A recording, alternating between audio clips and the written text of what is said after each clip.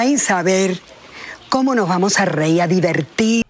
Hola, muy buenas a todo el mundo y bienvenidos de nuevo una vez más a mi canal, ya sabéis, Yacal83, tu canal de videojuegos y siempre viéndolo todo desde una manera neutra, sin fanatismo, sin toxicidad, sin tendencias, sin nada.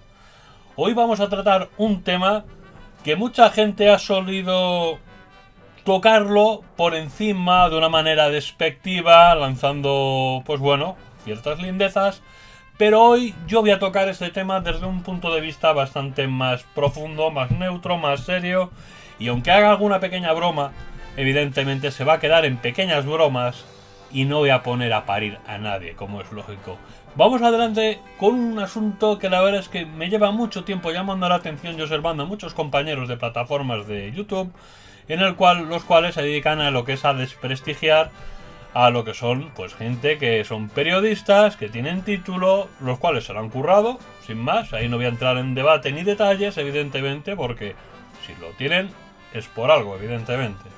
A lo que vamos es con el tema de la prensa del mundo de los videojuegos, ¿vale? Yo os enseño esta portada para que empezar a entraros en calor, pero algunos seguro que ya están pensando algo y no, no es eso lo que voy a deciros.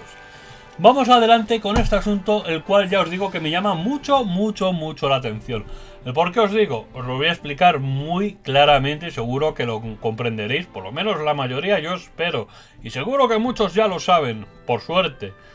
A día de hoy, eh, lo que es la plataforma de YouTube, redes sociales y demás, eh, parece que está la tendencia de moda de intentar desprestigiar lo que es a la prensa española, que cierto es que a veces lo que es la prensa española, lo que es a través de las redes sociales, a veces a lo mejor son títulos un poco tendenciosos para intentar ganar visitas.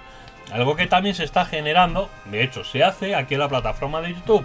No nos vamos a engañar, todos alguna vez hemos hecho algún título un poco tendencioso y demás. Pero claro, el problema está cuando la gente ya se obsesiona y hay por terceras personas que no hacen más que cizañar y meter pullas, por decirlo de alguna manera, de cierta manera, que al final cada vez que alguien ve una revista como esta, lo primero que pensarán dirán, hobby consolas, ¡buah! Madre mía, hobby consolas es Sony consolas. ¿Por qué? Porque, por ejemplo, en la portada esta, pues metieron lo que es Detroit, Yakuza, God of War, etcétera, ¿vale? Aunque hay comentarios de Xbox One y demás. Bien, ¿qué es lo que pasa? Que la gente, cuando ve este tipo de cosas, pues evidentemente saltan al cuello y por terceras personas, pues ya está la moda de decir, Buah, es que son unos vendidos, es que Sony España, es que no sé cuál. Pero claro, luego resulta que se les olvidan ciertas portadas como esta. ¿Qué dices tú? Joder, Macho, Super Mario Odyssey bien en grande, bien en grande. Pero claro, a la gente se le olvida ese detalle, al fin y al cabo. ¿Qué más da, no? Vamos a meter baza. Porque claro, luego también se les olvida portadas como esta. De Metroid, bien en grande, tío. O sea, bien en grande. Metroid Samus Return, macho. O sea, la mini Super NES. O sea, lo estáis viendo como yo, no hay engaños. Pero claro, Luego, por algunas portadas dadas, como puede ser por las de Uncharted, de acuerdo, ya empiezan a decir, ¡buah! Es que ya están cizañando, señores. Está al ladito de Quantum Break. Al ladito. Igual, el mismo tamaño, mismas proporciones. Yo no le veo debate a esto. Que ponen una portada de Horizon Zero Dawn, bien en grande. ¡Oh! La prensa es pipera, está manipulada ponen una, una portada en grande de Super Mario Odyssey y la gente se calla. La verdad es que nunca me había preguntado eso. ¿eh? Ponen una portada en grande de Samus Return, la gente se calla. Pero sale una portada con varios títulos que van a salir en vistas para el año, para este mismo año, 2018 y la gente lanzando mierda, cuchillos, hachas, flechas, la gente tira de todo. Hasta tiran televisiones por la ventana si puede, con eso os digo todo. Nos está engañando, que no nos engañe, que nos diga la verdad. ¿Qué os quiere decir con esto? Que de repente llega un mes y os sacan esta revista. Que no te enteras. ¿Estás sordo qué? ¡Toma ya! Hobby consolas con bayoneta bien en grande. Brutal 2018, Dragon Ball Fighter Z, Sea of Thieves, que es de Microsoft, God of War de Sony, Monster Hunter multiplataforma, Far Cry 5 multiplataforma, Red Dead Redemption 2 mul- multiplataforma. Y seguís diciendo que estas portadas son de Songers. Damas y caballeros, yo estoy viendo a Bayonetta bien en grande. No sé lo que veis vosotros. Hablemos claro y con cojones. O en todas las demás portadas que os he enseñado. Bien en grandes para que no haya engaños. Todas de la misma revista. Bien. Eso es para abarcar por un lado. Pero por otro, a la gente se le olvida que esto es impresión, imprenta, artes gráficas. Venga, ánimo. Os voy a explicar el porqué. Yo he trabajado 12 años en una imprenta, ¿vale? Tengo mucho conocimiento de ello. No soy un profesional, aun con 12 años, ya lo digo bien claro, ni de lejos, pero entendido sí que soy.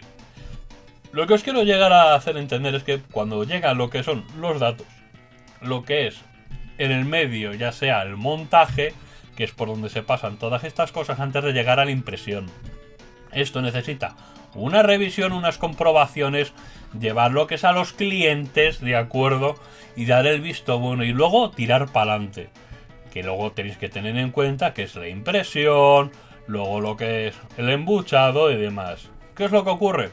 Que en este proceso, que es un proceso que precisamente no es corto, pues evidentemente no puede estar igual de actualizado que las redes sociales, que Internet. ¿Por qué? Porque Internet es un proceso continuo Es que no te enteras, Contreras. de datos. Hay cambios, hay cosas que ya no son como eran antes, ya la gente evidentemente está mucho más informada que antiguamente porque antes pues no todo el mundo tenía internet. ¿Os acordáis todavía, verdad, de aquella época cuando aún sonaba el, el modem aquel cada vez que nos conectabais que parecía que estábamos haciendo señales a Marte? Pues esto es lo mismo. ¿Qué es lo que ocurre? Que como todo esto va evolucionando, pues claro, evidentemente una, una revista que te sale una vez al mes, ¿de acuerdo? Con todo el proceso que ello conlleva, pues no puede estar a la, a la misma altura en información que lo que son las páginas de internet. ¿Cómo puede ser portales? Da igual la que veáis. Vandal, Station, 3D Juegos, el otro lado, es igual, os va a dar igual. Porque es imposible que esté igual de actualizado que, que lo que son las páginas de internet. No es viable. ¿Qué es lo que ocurre? Que la gente se dedica a desprestigiar y a echar mierda cuando evidentemente no está la información a la altura en ese momento. Por eso muchas veces se puede decir que prácticamente las artes gráficas están muertas a nivel mundial prácticamente.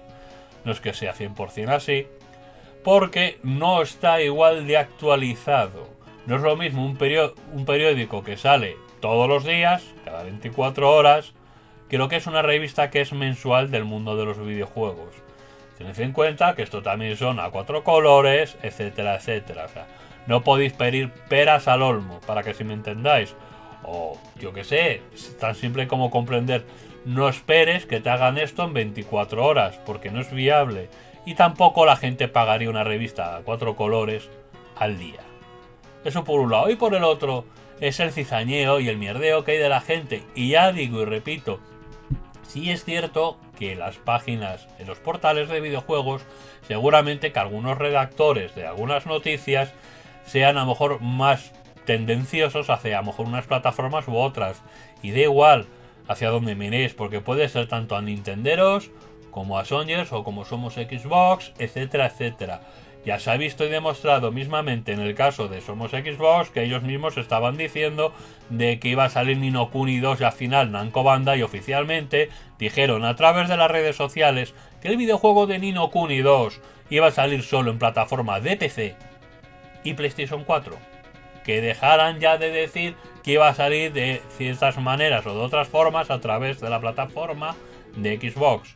Con esto os quiero llegar a, hace- a intentar hacer entender que no podéis pedir más, de más, mejor dicho, a una revista en formato físico que a, portales de videojuegos que se están actualizando constantemente. Magnífico. Todo ha quedado clarito. ¿Vale? O sea, hay unas horas en los cuales, eh, en teoría, se tienen que verificar la información y mirar las fuentes y demás, cosa que no todos lo hacen, ni tanto los redactores ni como los portales de videojuegos. Pero sí es cierto que a una revista que sale una vez al mes, con todo el proceso que ello conlleva, no podéis exigirles igual que un portal de videojuegos. Más luego aparte los cizañeos que hay por terceras personas, lo cual es ilógico. Que se esté cizañando de esa manera. Que a lo mejor tengan a lo mejor cierta tendencia por alguna plataforma, pues puede ser, no lo sé. Yo es que no indago las vidas personales de cada, de cada redactor. Parece ser que hay gente que sí que lo sabe sin ni siquiera molestarse en indagar, que eso está muy visto actualmente. Pero ahora que jueguen una revista entera, incluyendo a todos los redactores y todo, en este caso que estén cizañeando sobre... Y os he puesto el ejemplo perfecto, hobby consolas, cuando os he enseñado de revistas que tenía así sueltas entre el año pasado y la de este mes, que ha sido la última, en el cual ha habido de todo, o sea, todo de las, las seis que he comprado, siete, en todo lo que he llevado de año, en todas ellas ha habido diversidad de, de, de, lo que es cubiertas, portadas. O sea, yo no entiendo este cizañeo y estas ganas de meter mierda porque lo veo sinceramente ilógico, irracional. Porque es que es que también hay que decir que en parte que todo esto acaba creando una mala imagen que luego a la larga pasa factura. Y os olvidáis el detalle, que esta gente que escribe estas noticias, como vosotros, no pueden hacer milagritos, como ya supondréis, y aparte también tienen una familia y de ello viven. O sea, no creo yo que se dediquen a desinformar a breve.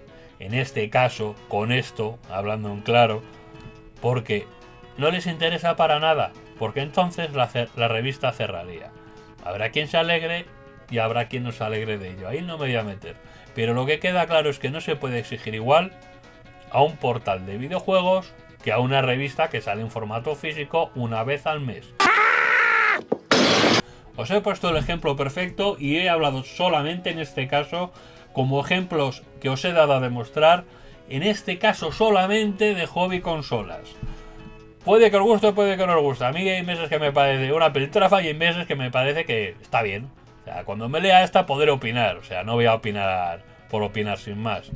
Pero claro, cuando lees ciertos comentarios y te das cuenta que este mes no he visto lo que se vio cuando lo de los futuros próximos lanzamientos del 2018, que es lo que os he enseñado también antes, la gente poniendo el grito en el cielo, llamándoles piperos, que si son y consolas, que si vendidos y tal. Y esto, a ver, que está, es una portada, señores, o sea, leed el contenido antes de juzgar. Que es lo que pasa también muchas veces cuando creamos un vídeo en YouTube, lo subimos y la gente ya está criticando y tachando solo porque ve un titular. Pero coño, mírate el vídeo y escúchalo con atención. Esto es igual, si estás viendo esa portada y tal, no juzgues antes de, primero léete la revista antes de opinar. Porque entonces vas a quedar, pues, pues como lo que seguramente vayas a quedar, como un mentecato mentecatas, igual el género. A lo que vamos. Simplemente es Dejemos de juzgar por lo que vemos a primera apariencia, con todas las cosas, y empecemos a pensar detenidamente antes de opinar, escuchar, leer, etc. ¡Toma! Esta es una especie de... para hacer una especie de limpieza de conciencia, por decirlo así, no por mi parte, porque la verdad es que yo en estos aspectos no juzgo por cabeceras ni por portadas, Prefiero ver yo mismo y dejarme de historias, porque ya aprendí hace muchos años de esto, de cómo iba todo ello. Y la verdad es que no merece la pena. Sinceramente, mi opinión, que la gente habla de más y hacen cazas de brujas. Y además, lo, que más, lo más triste de todo es que muchas veces hace la gente caza de brujas sin ni siquiera consumirlo. Como mucha gente que está criticando a compañías y no son ni jugadores de videojuegos, porque no los juegan. Como mucho juegan al, yo que sé, cualquier juego de estos móviles gratuitos. Juegan 5 minutos y ya. Que esto pasa y mucho y lo sabéis todos. ¡Nos han pillado! Espero que os haya gustado el vídeo y me dejéis abajo lo que es vuestra opinión en la cajita de comentarios, como suelo deciros habitualmente. Y poco más os puedo decir. Muchas gracias por haber estado ahí, por verme, por compartir vuestro tiempo conmigo y os espero en el próximo vídeo. Muchas gracias y recordad, los videojuegos se disfrutan en cualquier plataforma. Es igual qué videojuego y qué plataforma sea. Lo importante es disfrutarlos. Muchas gracias y nos vemos. Chao, amiguetes.